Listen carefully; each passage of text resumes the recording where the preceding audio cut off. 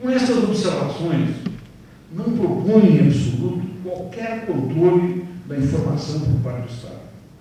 nem a sonegação de informações relevantes para que os processos e as investigações tenham ampla publicidade pela mídia, que de resto pode cumprir o papel político que quiser dentro da democracia.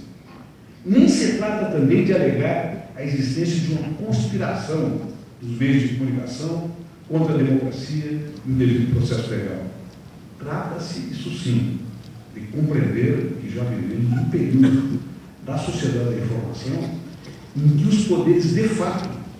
repito, em que os poderes de fato, no capitalismo tardio, estão se sobrepondo aceleradamente ao poder das instituições formais do Estado. Isso não ocorre somente em relação à mídia, mas também em relação a outros poderes fáticos oriundos, da força econômica dos grupos